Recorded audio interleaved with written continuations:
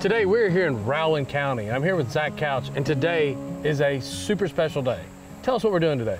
Today we're going to go out and do a release. It's actually the first time in uh, Kentucky's history that we are releasing hellbenders back into the wild.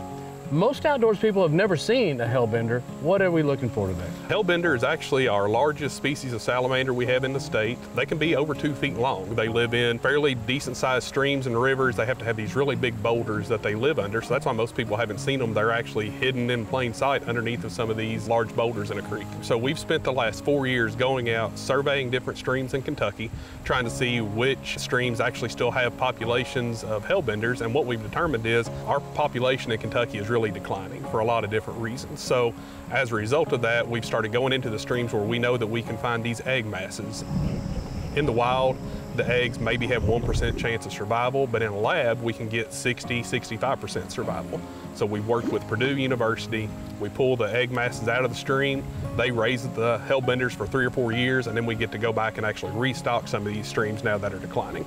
So we had a clutch of about 500 eggs from mm-hmm. four years ago. We're keeping 25 of those as sort of our year one reintroduction program. And years moving forward, we'll have more and more that we'll release. The rest of those animals will actually go to Indiana and they're doing the same project up there, but the problem is they haven't found any egg masses in Indiana. So they're using some of our Kentucky animals to repopulate some streams in Indiana at the same time as we're doing the work here. So that's one reason why a university in Indiana is very interested in this project and working with us because they're literally rearing these things and then bringing them back and then also seeding some of them in their state as well. So both states are actually going to be benefiting. That's right. You know, the thing when you're looking at wildlife conservation is, you know, we're focused obviously on Kentucky, but these species are often in multiple states. And if the species is declining throughout its entire range, we should do what we can not just to better the population in Kentucky, but throughout the range of the species so that we have multiple sites to diversify where we can find this animal at to hopefully keep it off of the endangered species list, which is our ultimate goal here. They're not here yet. They're on their way from Purdue. We're going to be getting 25, right? That's right. What are we going to be looking at size-wise? They're probably going to be somewhere in the range of six, maybe 10 inches long, Okay. something like that. So by the time they're that size, most fish species, unless it's a muskie, probably don't have a whole lot of worries there, do they?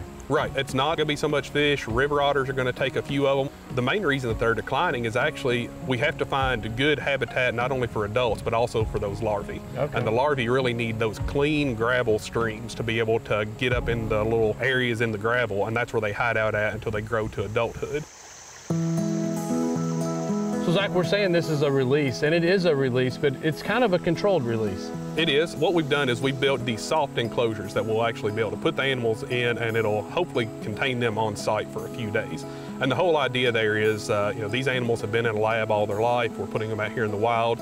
We don't want them to start moving around too much on day one and not being able to really figure out what they're doing and then be easy prey for any predators that move through.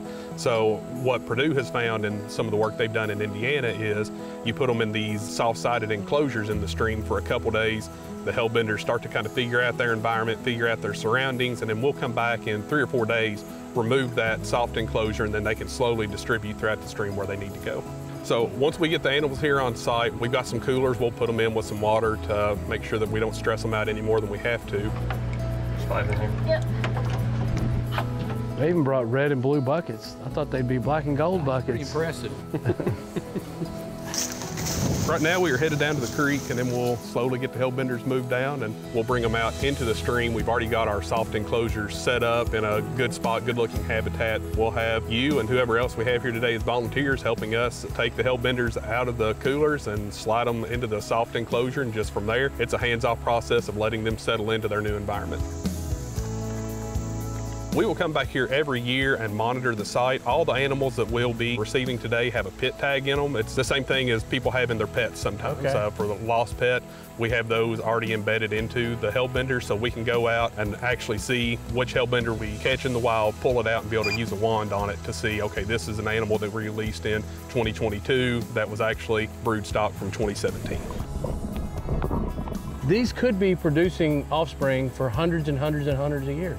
Yep, that's the plan is to be able to recover this population to where in let's say 10 years from now, we have the population back throughout its historic distribution in the state. They're reproducing on their own and we can move on to conserve another species that is declining.